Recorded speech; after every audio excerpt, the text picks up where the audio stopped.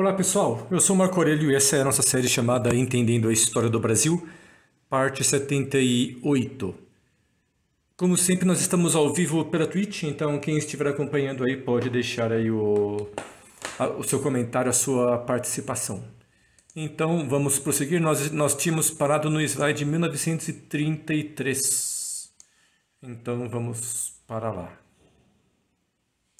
Vejamos aqui o slide de 1983. Seria bom se o PowerPoint tivesse um sistema de link rápido aqui, acesso rápido, viagem rápida aqui para o slide. Aqui está. Paramos então aqui neste local. E aqui na, na live anterior, nós não tínhamos conseguido localizar o Monte Pascal, mas aqui, ó, aqui está bem escondido aqui, Monte Pascal. Fica próximo então de Porto Seguro. Vamos ver. Ah, aqui é o site educação.ol.com.br. Fica a dica aqui. Tome muito cuidado com esses sites que tem o nome educação no meio. Como esse aqui da, da UOL o site é InfoEscola, Brasil Escola, tem vários sites assim, é, porque esses sites são pura doutrinação ideológica é, e com viés político partidário. Então tome muito cuidado com isso daí. Você não vai encontrar informação segura nesses sites. A informação segura é difícil de encontrar, você vai ter que batalhar bastante. Então tome muito cuidado. No, no que diz respeito a trabalhos escolares, tudo bem. Porque você tem que colocar no trabalho aquilo que o professor manda, né? aquilo que está nos livros didáticos. Então, para você que é estudante, não importa se o que está ali nos livros de história didáticos ali, se aquilo é verdade ou mentira. Não importa, porque você é obrigado a concordar com aquilo lá. Porque se você colocar outra, outra versão, você vai tirar zero na prova. Então, finge que você acredita naquela, naquele besteirol todo e coloca lá o que eles pedirem. Mas para você conhecer a verdadeira história do Brasil, você vai ter que garimpar escarafunchar bastante aí as fontes de informação. É um trabalho penoso, mas fica aí o convite. A, a ideia de você sempre desconfiar dessas fontes que são fontes históricas, abre aspas, oficiais, fecha aspas. É, não há nada mais digno de, de desconfiança do que as fontes históricas oficiais. Vamos lá. 22 de abril. Os marinheiros de Cabral, avistam o Monte Pascoal e descobrem o Brasil. Bom, para começar, já está errado isso daqui. Não é que eles avistam o Monte Pascal. Eles viram um monte, uma montanha. Depois eles deram o nome de Monte Pascal. Porque, é, é, bom, alguns livros dizem que é porque coincidiu com a Páscoa. Então, olha só, a, a primeira mentira, mentira de, de nível mais amplo, é, é, olha, ali está o Monte Pascal, encontramos, é ali. Não, não é isso não. Primeiro encontraram a montanha e depois deram o nome de Monte Pascal. Mas isso também é mentira, porque já havia, conforme nós vimos nos vídeos anteriores, esse projeto místico escatológico milenarista, o projeto do, do Império do Espírito Santo, o Quinto Império. Já existia isso. Então, tudo isso daqui foi intencional. Então, provavelmente, desde antes de, de zarpar lá de, de Portugal, eles já tinham essa intenção mesmo, de, de que a, a, aqui no Brasil, lá o, naquele monte ali, ali seria o símbolo da terceira Páscoa. Vamos aqui dar uma ampliada, porque acho que não precisa ficar tão reduzido assim. Vamos ver aqui. Em 22 de abril comemora-se o descobrimento do Brasil. Foi nessa data, no ano de 1500, que os marinheiros. Também, esse número 1500 aqui tem um significado esotérico, mas como eu não tenho certeza, então eu não vou nem comentar aqui. Vamos seguir. Que os marinheiros de uma frota portuguesa, sob o comando do capitão Pedro Álvares Cabral, e essa frota aqui também não era de três caravelas, Santa Maria, Pinta e Nina. Não, era bem mais, acho que passava de 20 navios, se não me engano. Vamos ver aqui. Sob o comando do capitão Pedro Álvares Cabral, avistaram um monte que... Ah, bom, aqui está correto. Aqui chamaram de Pascoal. no litoral sul do atual estado da Bahia. Isso aconteceu depois de atravessarem o Oceano Atlântico durante cerca de 40 dias. E por que esse, esse número 40 aqui é importante? Como sempre, é, para não perder o costume, para manter a nossa tradição aqui, eu não coloquei aqui anteriormente, mas vamos colocar aqui. Seriam aqui as travessias. Aqui, ó. Primeira travessia. Vamos aumentar aqui.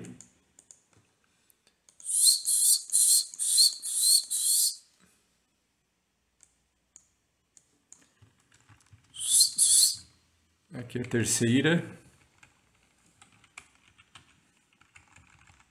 Aqui a segunda. O texto aqui está estranho, vamos ajeitar.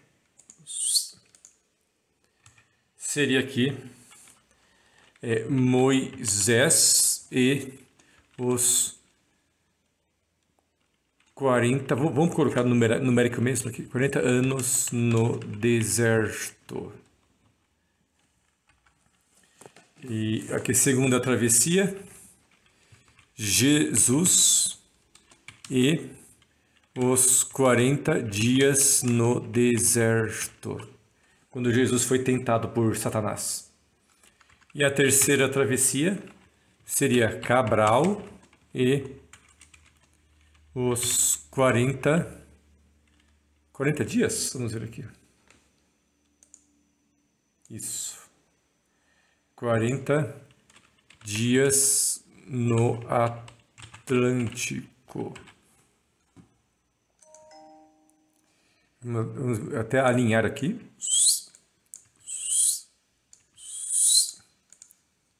Vamos alinhar aqui.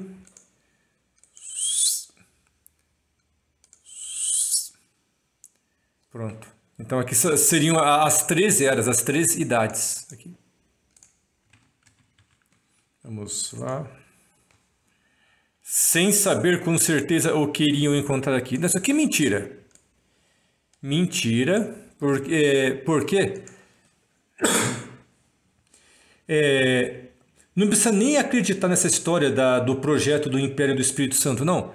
É, muitos historiadores eles dizem que por razões comerciais eles já sabiam que existia aqui no Brasil. Porque já, já, já se sabe que outros povos estiveram aqui, ou, ou é, muçulmanos já estiveram aqui antes.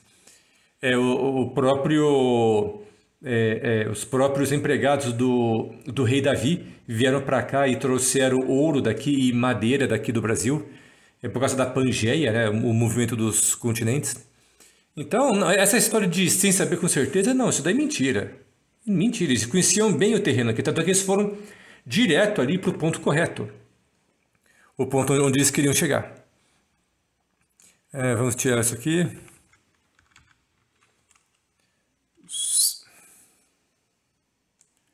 Vamos lá. Agora, aqui. Então nós temos essa tríade aqui. Então aqui, ó, para manter aqui a harmonia aqui, ó. Primeira etapa azul, segunda etapa verde. Cadê o verde aqui? Não funcionou. Terceira aqui, vermelho.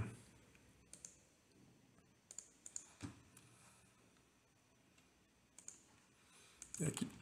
Então, são as três Páscoas. Vamos alinhar aqui.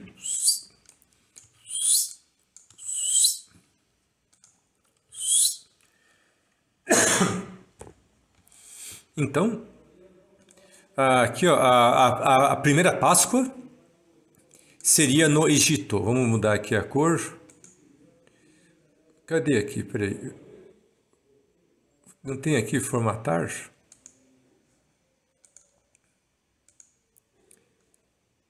Aí não permite mudar a cor ali, mas tudo bem. Aqui o ouro de Horus, aqui, primeira Páscoa, Egito. Segunda Páscoa foi em Roma. Aqui é, eu não encontrei um símbolo de Roma, da Roma pagã. Eu coloquei a, a cruz de Constantino aqui. Eu queria encontrar o símbolo da Roma pagã, mas eu não encontrei um símbolo que fosse fosse comum aqui, fosse fácil. Deixa eu ver aqui, peraí. Cadê o navigator? Aqui, o navegador aqui. Vejamos aqui. Roma pagã. Vamos ver aqui. Imagens.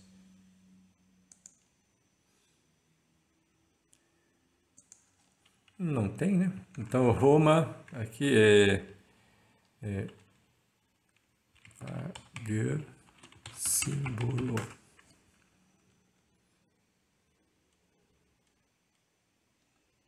É, não tem, infelizmente. É, então, na falta de um símbolo mais, mais fácil de entender, vamos colocar o símbolo da cruz de Constantino mesmo.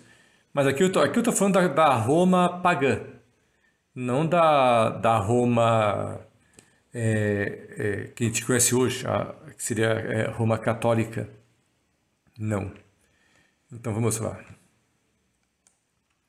Vamos ver aqui. Ah, isso aqui é o é o Le Bonnet, lembra? O, o boné da, da Revolução. Tinha até um livro que eu tinha encontrado aqui. É, Le Bonnet, Bonnet se escreve.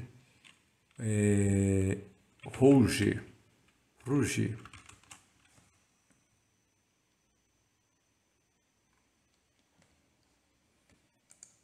Vamos pegar aqui a imagem. Aqui está. Isso aqui, isso aqui eu podia ter posto antes, porque a gente já falou bastante do, disso daqui.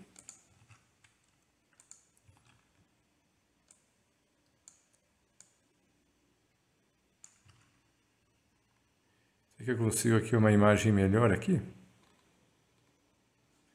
Não encontrei, tudo bem. Tinha aqui uma outra imagem que eu tinha visto, onde é que ela foi parar? Ok.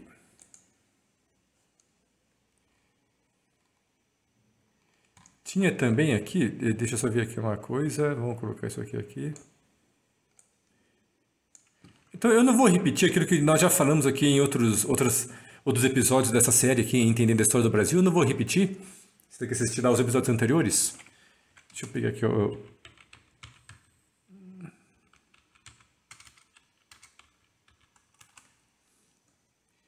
Vejamos aqui.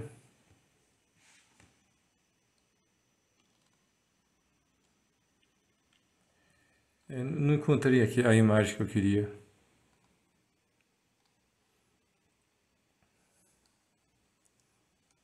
Ah, aqui, consegui encontrar.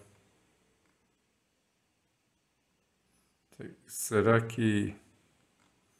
Ok. Vamos pegar aqui uma imagem é que na, na antiga lenda do Pinóquio, ele também ele tinha o, chapéu vermelho. Vamos pegar aqui o... Então pesquisa lá, o, o boné vermelho, o gorro vermelho é o símbolo da revolução. Vamos lá. Aqui. Então a primeira Páscoa seria a idade do pai. É...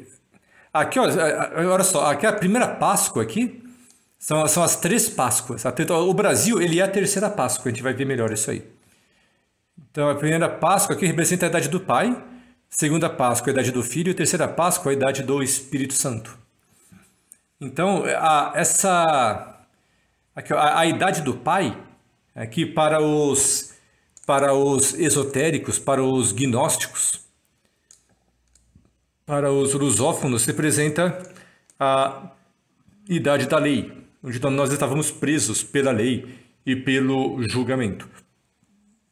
Já que na segunda Páscoa, aqui, seria a idade onde, na, na visão da teologia da libertação, teologia da missão integral, na visão desses caras, seria que a lei foi abolida,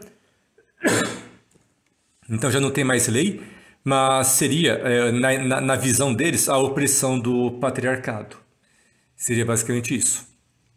Então, seria a idade do filho, a era cristã, seria a, a época onde haveria a, a desigualdade, onde na, na visão deles, na, na cosmovisão desses caras aí, o, os homens estariam oprimindo as mulheres. Seria basicamente isso. Essa a, a ideia dos caras aí.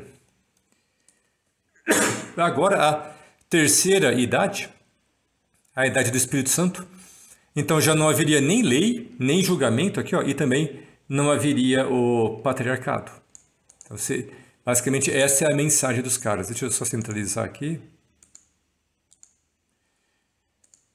Então a gente percebe que aqui, agora a gente entende por que, que o esquerdismo não é apenas a questão da guerra de classes, a ditadura do proletariado, a, a, a luta contra a burguesia, contra o capital, contra a propriedade privada. Não é apenas isso, essa primeira camada da, do discurso comunista. Mas entra também essas questões identitárias, especialmente a questão de sexo, né? é, questão de, é, entre homens e mulheres. Porque está aqui, ó, está, está na gênese do negócio aqui. Então são essas duas questões aqui, que são as cláusulas pétreas aqui. Então aqui, ó, vamos colocar aqui, ó. Hum, duplicar aqui. Então, para que você entenda a revolução, vamos lá. Cadê aqui a cor do text? Aqui. Vamos cambiar aqui os colores. Uh, vamos ver aqui. É, primeira face da revolução, para você entender. Vou reduzir aqui. Cadê aqui?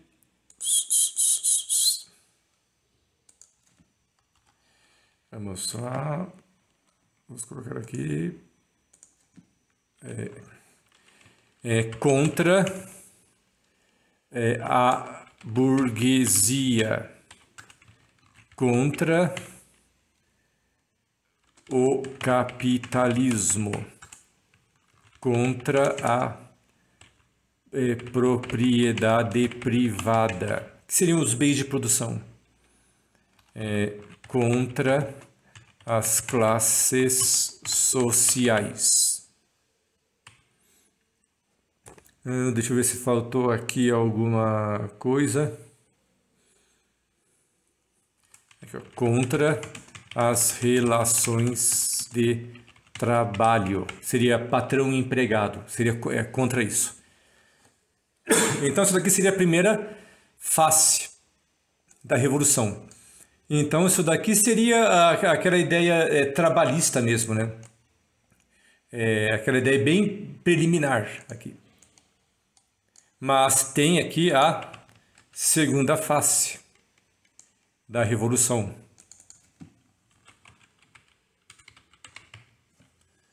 Aqui é contra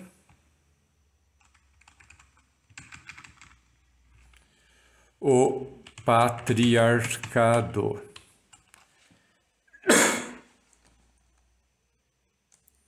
Então aqui seria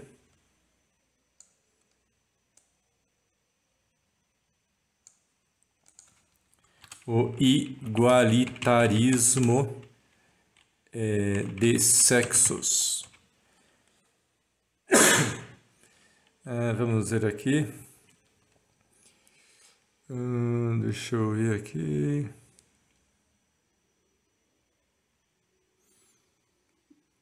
Acho que é isso. Bom, o resto vem como consequência. Então, aqui seriam os, os temas principais aqui. Então, muito, muitas crianças, muitas é, é, pessoas acabam é, não, não enxergando essa outra face aqui. Deixa eu até colocar aqui, ó.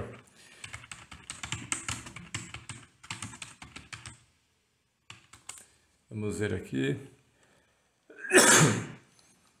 Tinha aqui uma figura aqui, ó, que mostra como, como os caras é, não entendem isso daqui. Tem, essa, tem uma carência aqui de conhecimento aqui.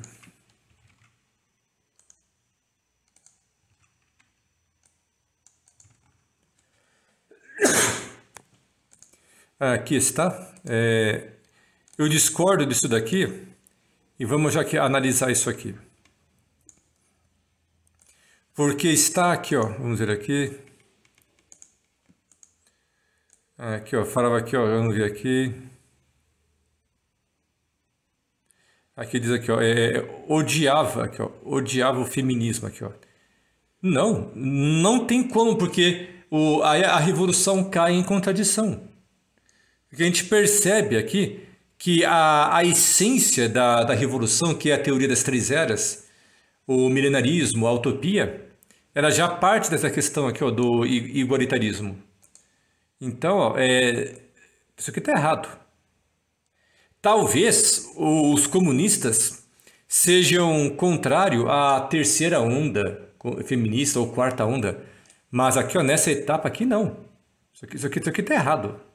Porque aí ele cai em, em contradição. Então, na época do Lenin, aqui vamos ver aqui. Vamos ver aqui, pegar aqui os tracing boards aqui. Vamos pegar aqui, cadê?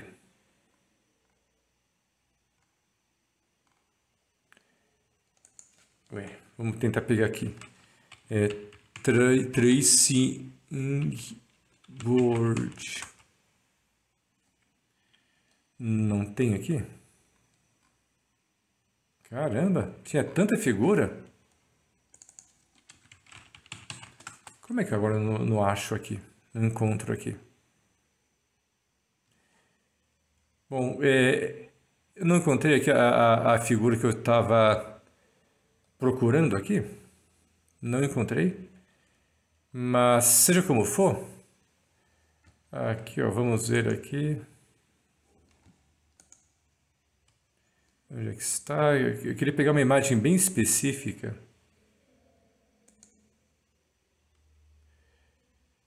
Ok, não, não encontrei, mas seja como for, assim, é, a, na, na época de Lenin, é, é, é, é havia uma visão bem mais tradicionalista, bem mais conservadora. Foi na época de Stalin que a coisa debandou mesmo para o, o, o progressismo. Mas aqui, ó, vamos ver aqui ó, uma imagem aqui, ó.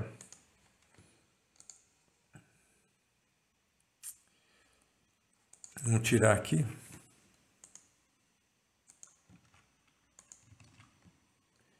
Aqui, ó, vamos ver para trás aqui. Então você percebe aqui, ó, que o, o, a, a ideia revolucionária sempre, é, é, é, ainda que discorde, mas sempre teve que partir dessa questão do, do igualitarismo. Então, a, é como diz o ditado, você é, tem, é, ditado não, aquela alegoria, tem um lençol, isso daqui é uma historinha de um sábio chinês, sei lá, essas historinhas milenares aí tinha um lençol é, estendido no varal, branco, e aí o sábio chama o seu aprendiz e fala assim: ó, aqui tem um monte de é, pedras de carvão.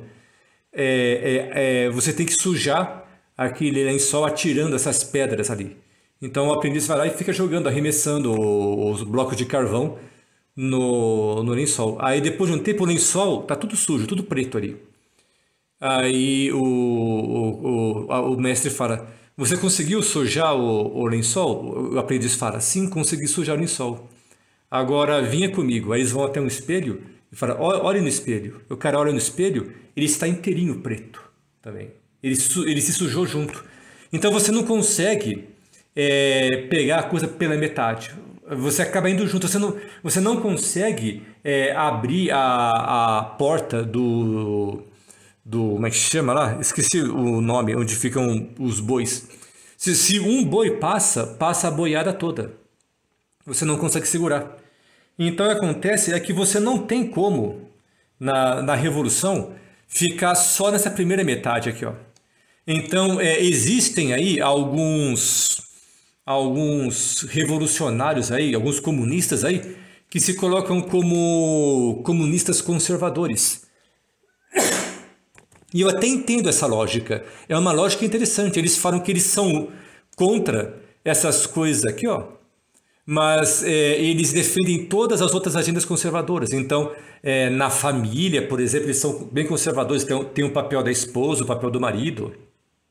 A questão de professores também, a hierarquia.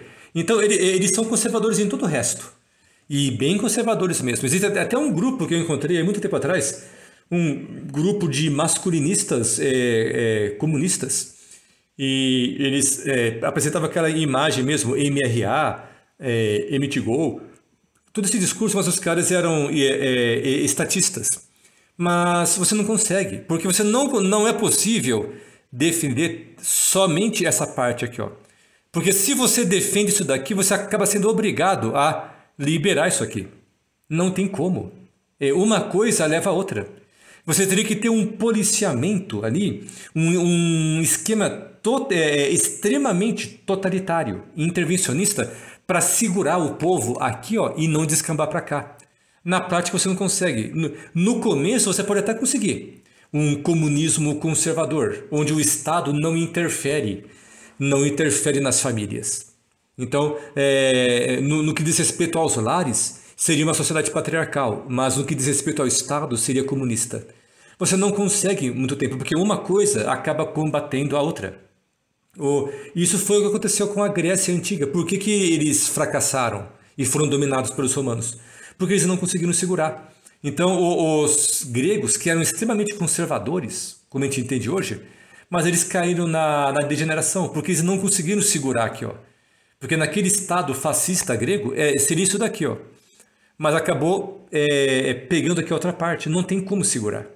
E depois que vem para cá, ó, aí começa toda a degeneração, porque se você libera isso daqui, ó, aí vai entrar agenda abortista, é, é, promiscuidade sexual, bestialismo, sodomia, é, é, é, é desconstrução do, dos arquétipos, etc. Quebra das hierarquias. Aí pronto, a, a sociedade desanda.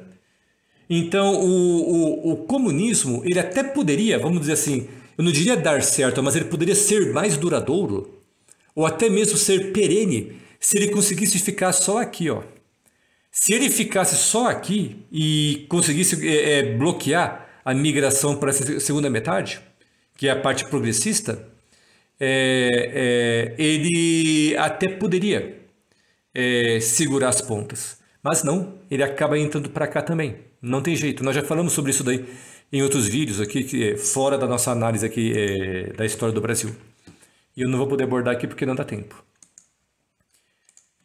Então, o, o, comunismo ele poderia ser mais duradouro, mas ele acaba entrando em colapso. Vamos lá. É, vamos ver aqui. É, porque, porque é, essa questão aqui, ó, é, é, está na essência da revolução aqui, ó. É a idade do Espírito Santo, que é a idade feminina, como nós já falamos é, em episódios anteriores. Assista lá. Nós já estamos na, na, no episódio 77, então é, é muita coisa que foi abordada aqui. Vamos lá. Então, isso daqui é que representa aqui a, a revolução, a, a terceira era. Aqui, ó. Isso daqui ó, representa a, a quebra das hierarquias, que era uma premissa da Revolução Francesa, uma premissa do Iluminismo. Aqui ó, seria o, o ativismo ideológico. Aqui seria a, a tomada dos meios de comunicação e também a, a censura da oposição. Aqui, ó, o, o, ataque contra a figura do rei, como aconteceu na Revolução Francesa. Aqui, ó, a, a mensagem da opa, é, libertação, seria o liberté, a primeira premissa da Revolução Francesa, e que é um símbolo pagão. Nós já falamos sobre essa tocha aqui, né, que é a, a tocha de Apolo, né, é um símbolo pagão. Aqui ó, é, é o igualitarianismo, né? Aqui ó, aquela, aquela bandeira usada pelos antifas. Aqui ó, o, o discurso de ódio. Esse daqui. Agora esse último aqui eu não sei o que é. Não sei o que seria este último aqui. Vou ficar devendo para vocês. Se você souber o que é, coloque nos comentários desse vídeo.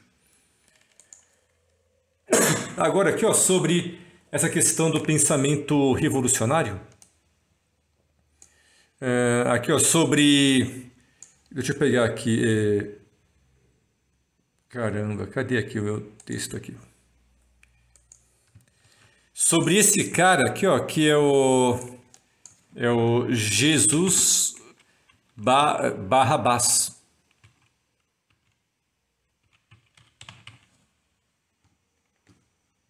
Na verdade é Barrabás, era alguma coisa assim. É, seria é, filho de uma pessoa aqui é chamada Rabá, algo assim. Tem que ver lá o nome, o nome, é, como era pronunciado naquela época. Então, toda vez que você vê na Bíblia, especialmente no Novo Testamento, um nome que começa com é, Bar, aqui ó, significa é, filho de, por exemplo, Bartimeu, filho de Timeu. É, Barnabé também, é filho de. Tem que ver a pronúncia original, né? Vamos ver aqui. Então, o, o, porque os dois se chamavam Jesus, porque Jesus era um nome muito comum naquela época. Então, o Barrabás era integrante de um partido judeu. Olha aqui, ó. Vamos ver aqui. Partido Judeu. Ou seja, é, era questão envolvida política. Que lutava, olha aqui, ó. Contra a dominação romana, denominado Zelote. Quer dizer, é aquele espírito revolucionário, né? Que a gente conhece aí. Então, esses, os zelotes aqui seria uh, uh, o equivalente da esquerda que nós temos hoje.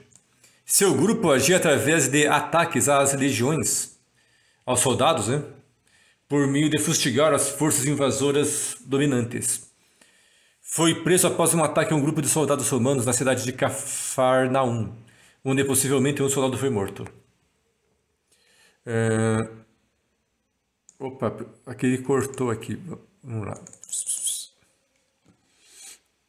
Preso por se amotinar contra Roma e estar envolvido em um homicídio, Marcos 15, de 1 a 13, ele detinha a admiração do povo. Olha aqui, ó. O povo gostava dele. Seria como, por exemplo, aqui, ó. Deixa eu digitar aqui. Deixa eu pegar aqui a figurinha.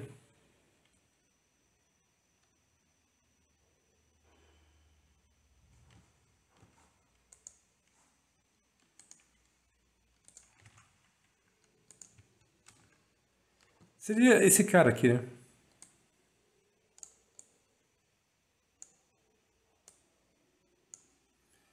Lá. Então, ele detinha a admiração do povo. À época, subjugado pelo Império Romano. Seria o mesmo, o mesmo discurso, né? Eles falam que, é, no, caso, no caso da Ilha de Cuba, seria o Império Yankee, né? É exatamente a mesma narrativa. Vamos ver aqui. Era uma espécie de herói. Realmente, né? Vamos ver aqui, ó. Cadê aqui? Vamos ver aqui.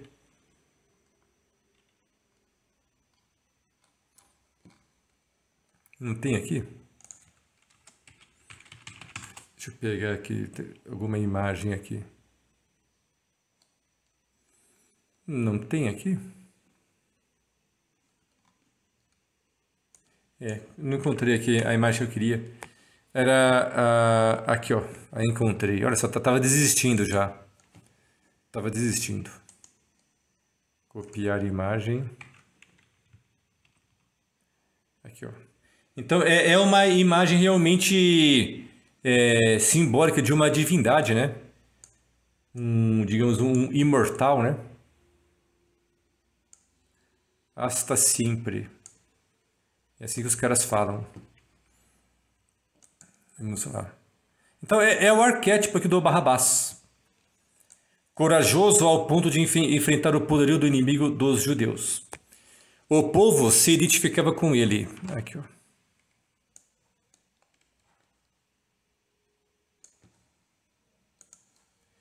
Do outro lado estava Jesus, corpo dilacerado, ensanguentado. Aqui escreveram errado, aqui deixa eu mudar aqui, ó, porque tem que ter o trema aqui, né? Ah, essa reforma ortográfica aí errou. Aqui. Vamos lá. Ensanguentado. Ah, não, não, vamos adicionar aqui, porque a, a reforma ortográfica está errada. Adicionar o dicionário. Pronto, mais uma palavra que a gente corrige aqui. Só que agora travou aqui, hein? Olha só, eu paguei um alto preço aqui para corrigir a ortografia. Travou aqui. Mas então, enquanto fica travado, que eu vou lendo. Sem poder mover o, o raio problematizador. Tá travado aqui, vamos lá. Ah, destravou. O retrato da fragilidade humana ante a crueldade de seus algozes. Os dias de curas, milagres, sermões impactantes haviam se apagado da memória do povo ensandecido. Não, é, aquele não era o herói que eles queriam. As pessoas não se pareciam com Jesus. O povo se parecia com Barrabás. E essa frase aqui, ó. Essa frase aqui lembra muito bem aquilo que dizem os teólogos da libertação, como por exemplo, libertação e teologia da missão integral são a mesma porcaria. São a mesma coisa. Vamos pegar aqui uma foto aqui do, do sujeito aqui. Deixa eu ver se eu consigo aqui. Vamos pegar aqui uma foto aqui.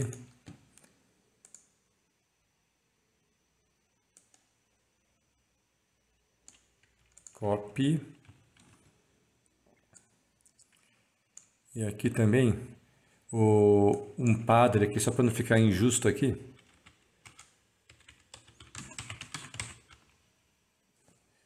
Vamos lá. Deixa eu pegar aqui uma foto do cara aqui.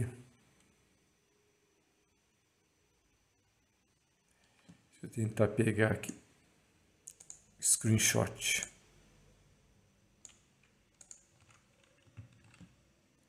Aqui está.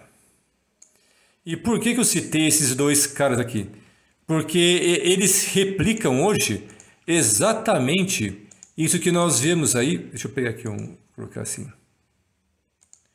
Aqui, ó, é, é, é não, a, aquele não é, era o herói que eles queriam. Porque eu já escutei o, o Ed Renekiewicz e o Júlio Ancelotti falando mensagens do tipo que dizendo que a igreja tradicional, a igreja cristã tradicional, ela é inimiga do povo. Porque na cabeça desses desses é, revolucionários, é, cadê aqui, ó, é, aqui ó, é, infiltrados no meio da igreja, aqui, na cabeça desses caras, que, que não são cristãos, são hereges, eles dizem que a igreja ela tem que pregar a revolução, não com essas palavras, né? eles não são loucos de serem tão diretos assim. Eles têm que suavizar o discurso, né? eles têm que dourar a pílula, claro, né? Então eles usam aqueles é, linguagem simbólica, né? linguagem cifrada, como é típico desses caras. Mas eles falam assim que, com as minhas palavras agora, que a, a função da igreja é defender a revolução. A igreja tem que ser revolucionária. E essa igreja tradicional, conservadora, é, pacífica, ela é inimiga do povo, porque na visão deles, essa igreja ela dociliza, ela, ela fragiliza o povo para que o povo seja dominado pelas elites. Então, esses caras aqui, eles falam que a igreja tradicional é cúmplice das opressões, porque a igreja tradicional ela é, obriga o povo a se render, a, a se prostrar diante do, do algoz, diante do dominador. E foi exatamente o que pensaram as pessoas na época de Jesus. Não, os caras disseram, não, é, é, o nosso Messias não é esse cara que que está aí pendurado na cruz, não. O nosso Messias, ele vai nos livrar é, militarmente da, das garras do opressor, que na época seria o Império Romano. Então, hoje também, as pessoas rejeitam Jesus da mesma forma como os judeus rejeitaram Jesus naquela época. É a mesma coisa, é a mesma narrativa. A, pessoa não aceita que Jesus veio para esse mundo é, pregar a salvação e Jesus não veio aqui nesse mundo interferir. Aqui ó né, na, na, na nossa sociedade aqui. Cadê aqui o raio problematizador? Problematizator aqui ó. Os caras falam assim como assim? Não é possível que Jesus veio para cá e ele não interferiu aqui na burguesia na, na no capitalismo primitivo daquela época na propriedade privada, nas classes sociais, nas relações de trabalho. Como assim? Não. É, é, é, o Jesus que eu quero não é esse Jesus que, que não se. não interferiu aqui, ó. Não interferiu aqui também, ó. Não, não, eu, eu quero um Jesus revolucionário. Um Jesus que pega em armas para lutar armada. Então, é, é, é, esses caras aqui, ó, eles rejeitaram esse Jesus aqui, ó. E preferiram esse cara aqui, ó. E na versão atual seria esse daqui, ó. Então, esses caras são hereges e são perdidos mesmo, tal como foram perdidos aqueles que negaram Jesus naquela época, preferindo Barrabás. Todos eles receberam a condenação eterna. Então, é, esses caras aqui ó, são a nova versão dos fariseus, os religiosos da época. E de maneira hipócrita, esses caras falam que os tradicionalistas é que são os fariseus. Vamos lá. Vamos seguir aqui. Voltando a falar sobre esse assunto, deixa eu ver quanto tempo já deu. Tem alguém aí ao, ao vivo acompanhando aí a live pela Twitch? Se tiver, é, é, coloque a sua participação aí no chat. A sua participação aqui é muito bem-vinda. Vejamos, significado de, de utopia. Situação ou local idealizado, lugar onde tudo acontece de maneira perfeita ou ideal. Local ou situação ideal onde tudo é perfeito, harmônico e feliz. Refere-se especialmente a um tipo de sociedade com uma situação econômica e social ideal. O que está no âmbito do irrealizável, que tende a não se realizar, quimera, sonho, fantasia. Situações determinadas em que os indivíduos estão em estado pleno de felicidade e harmonia. É, aqui no contexto político. PEXT, não sei o que é isso daqui. Qualquer situação imaginativa que. Se você sabe o que é PEXT, deixe nos comentários aí. Qualquer situação imaginativa que, remetendo ao que é ideal e priorizando a qualidade de vida, garante uma sociedade mais justa e com políticas públicas igualitárias. Ou seja, esquerdismo, né? Resumindo aqui, esquerdismo. Agora, então, é, o que seria aqui utopia, aqui é, de maneira genérica? Seria isso daqui, né? Ó. Vamos lá, todo mundo de mãos dadas aqui, ó. Tudo maravilhoso, super bem, aqui, ó, eles felizes. Então, seria isso daqui, utopia. Vamos descer aqui para pegar aqui a, a, imagem melhor. Mas é, basta crescer um pouco e você sabe que isso aqui é mentira, né? Não tem como. Como, como disse lá um intelectual, é, é, até os 20 anos de idade, se você não foi socialista, você não tem coração. E a partir dos 40 anos de idade, se você continua sendo comunista, você não tem cérebro. Vamos seguir aqui. Porque isso, aqui não é coisa de adulto, né? Convenhamos, né? Não é coisa de adulto isso aqui. Vamos lá. Aqui, ó, os caras escreveram aqui, né? Aqui, ó, Thomas More, estadista e filósofo da utopia. Aqui, ó, é, é, aqui, ó, utopia Ínsula, é, é, figura da ilha da utopia. Nós já falamos aqui, isso aqui já foi mostrado em, em capítulos an anteriores aqui. Isso aqui, inclusive, seria o rosto né, de uma pessoa. Então, essa ilha aqui seria a ilha da, da utopia, onde tudo seria maravilhoso, tudo seria belo. Um mundo de sonhos e fantasias. É, vamos ver aqui, ó, é, a, a última sede para a utopia. Aqui, ó, a estrelinha vermelha aqui, cinco pontas é, é, a sobrevivência do, do socialismo é, em uma era pós-União é, Soviética. Aqui, Jean-François Review. É o mesmo aqui, vamos ver? Não, não é o mesmo. Vamos ver aqui.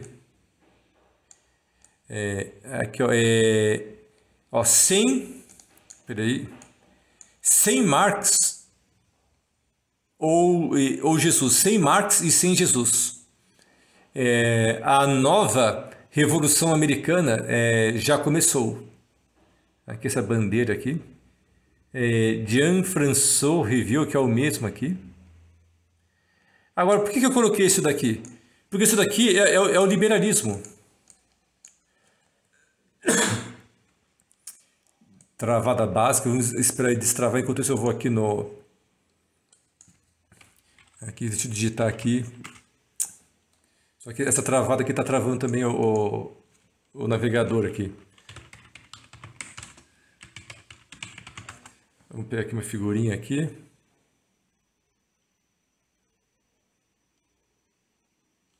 Onde é que está a figurinha aqui? Não tem aqui?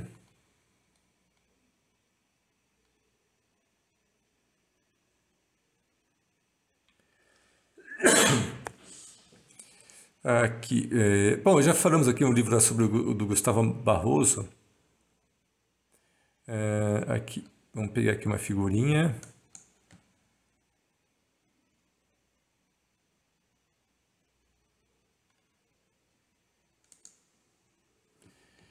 Vamos, vamos até aqui eu pegar uma, uma new page aqui.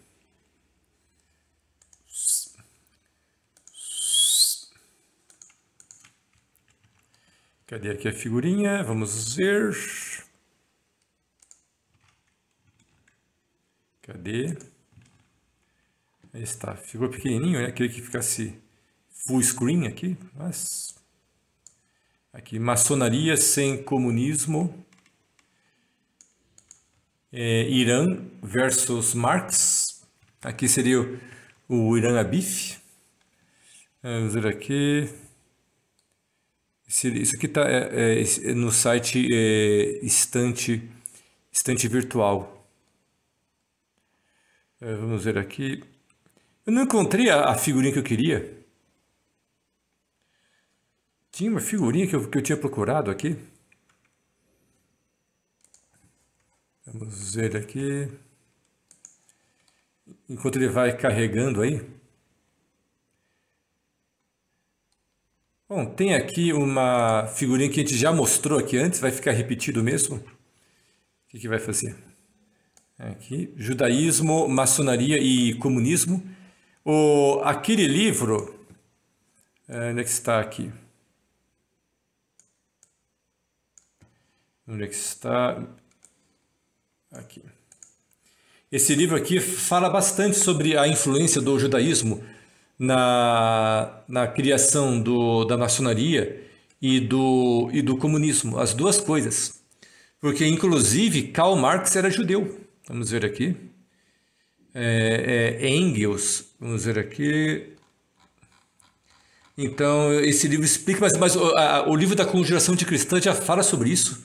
Então, leia lá, que ele, ele menciona, inclusive, o, próprio Karl Marx é, é, é mencionado aí. Mas cadê aqui a outra figurinha, gente? Cadê aqui?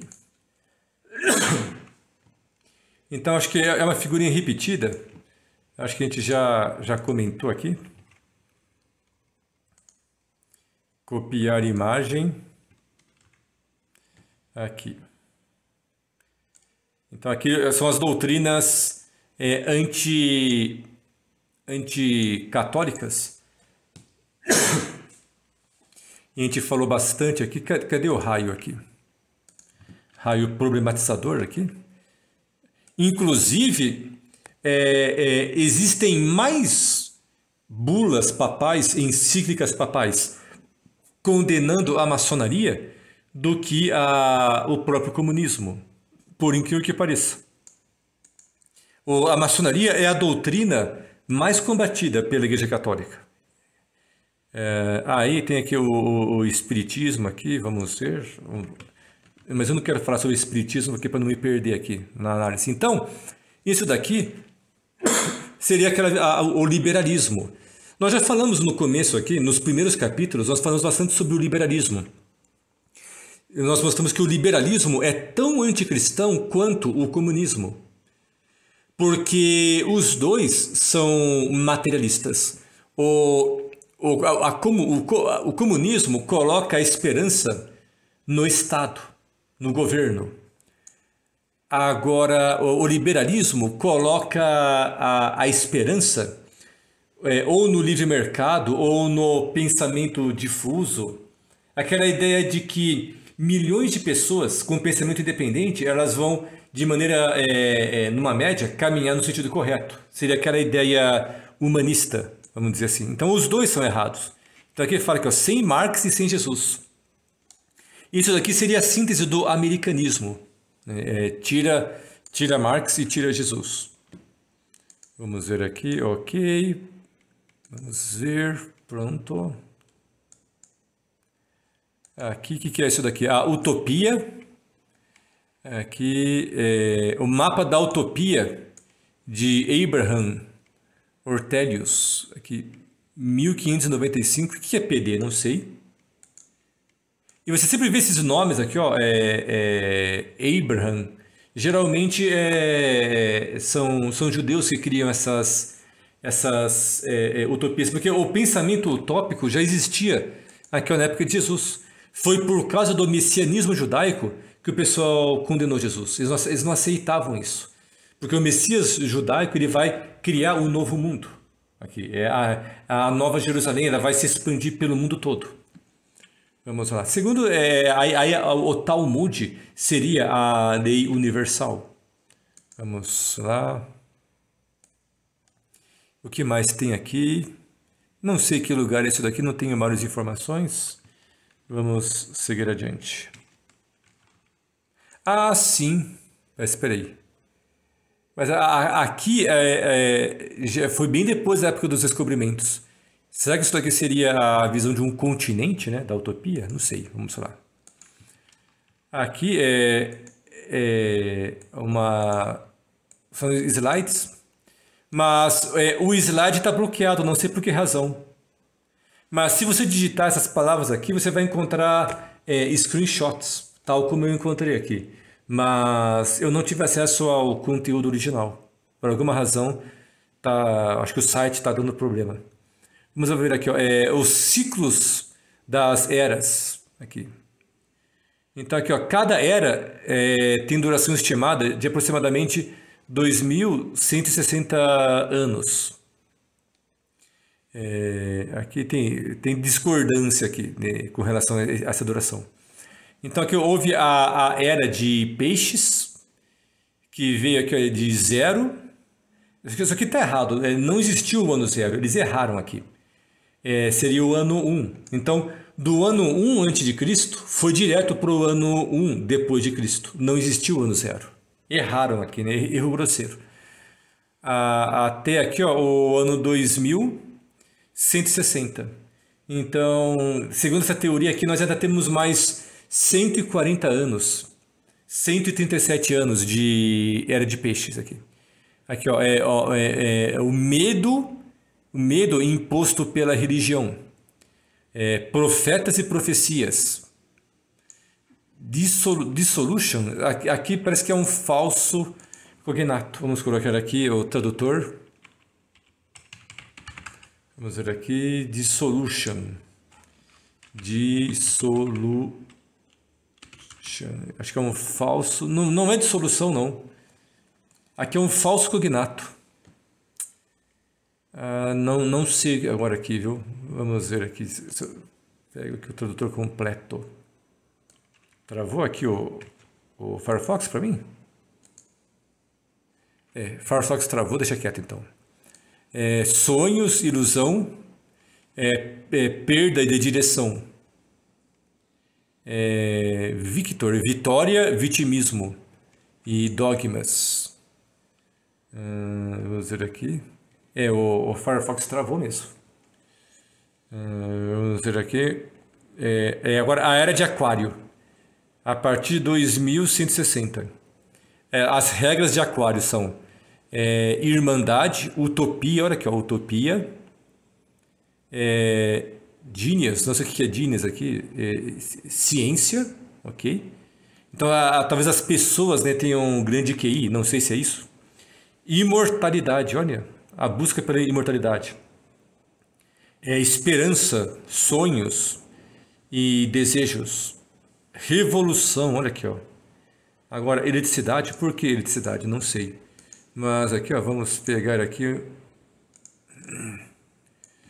É, vamos ver aqui. Tá caindo uma chuva aqui. Será que caiu a internet? Talvez isso, isso aí explique por quê. Ah, eu não estou conseguindo acessar aqui. O, opa! Deixa eu ver aqui, cadê? Acho que estamos sem internet, vamos ver aqui.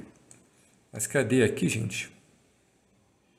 Então, a revolução. Opa, vai ficar travando aqui?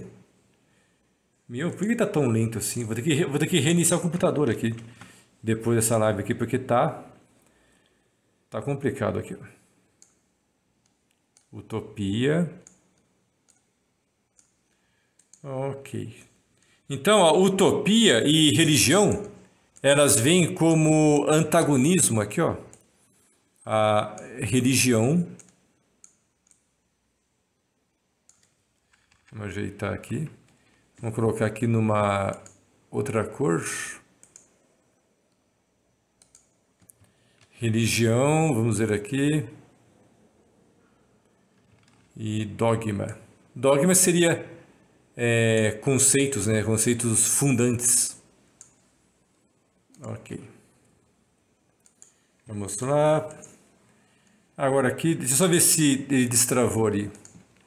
Pronto, destravou aqui o Firefox. Vamos ver aqui.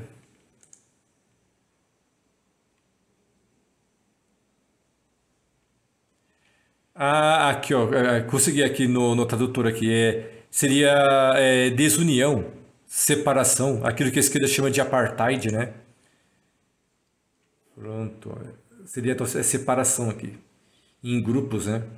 Então, aqui ó, a, a ausência da dissolução seria então a, a, irmandade universal, né? A religião universal. Vamos lá. Aqui, ó, todos os planos de mundo melhor, todos, sem exceção, sempre terminaram em genocídio. Isso aqui são aquelas frases eternas do professor Lavo de Carvalho. O cara vai ser eternizado por essas frases. Vejamos aqui, ó. É, o mundo seria melhor se não houvesse tanta gente prometendo melhorá-lo. Realmente. É o que estraga o mundo são essas pessoas querendo melhorar o mundo, né? Por meio das ideologias.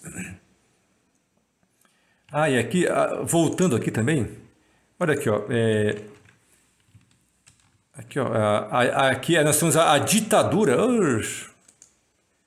aqui, ó, ah, não consigo pegar essa porcaria aqui, ó, vamos ver, que dificuldade, gente, a ditadura da ciência, né? Então, os cristãos, eles são os, abre aspas, negacionistas, fecha aspas, eles, negam a ciência, Onde já se viu duvidar das picadas de abelha? As picadas de abelha são infalíveis, são perfeitas. É, a, a, as caixinhas pretas também são infalíveis, elas não, não falham nunca. Então aqui, ó, vamos só colocar aqui, ó, porque essa questão aqui, ó, do dissolution é importantíssima, porque eles falam da religião universal, né? É, irmandade universal. Pronto. Vamos lá.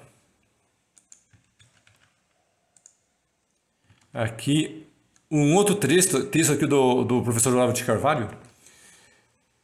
Ó, o ser humano não nasceu para corrigir o mundo. Realmente, se a gente for ver aqui, ó, a, a, o, o, centro da mensagem de Jesus é, é a salvação e, e, o amor ao próximo, né? Vamos ver aqui, ó a caridade. Vamos ver aqui. A esfera de ação própria do ser humano é muito pequena. E hoje em dia todo mundo tem a ambição de criar um mundo melhor. Olha, olha a sabedoria do cara. Qualquer garota de 12 anos está criando um mundo melhor. Então, essa é a ambição de criar um mundo melhor que faz os camaradas entrarem numa luta pelo poder. Porque se você quer mudar o mundo, você precisa ter o poder para modificá-lo. Então, modificar o mundo, melhorar o mundo, passa a ser o capítulo 2. O capítulo 1 um é conquistar o poder. Esse pessoal cria uma obsessão de poder e todos eles se corrompem até o fundo da alma e se transformam eles mesmos em maiores propagadores do mal ainda. Olavo de Carvalho, olha a sabedoria do cara. Mas aqui, ó, é, é, Tá, tá incompleto aqui, ó.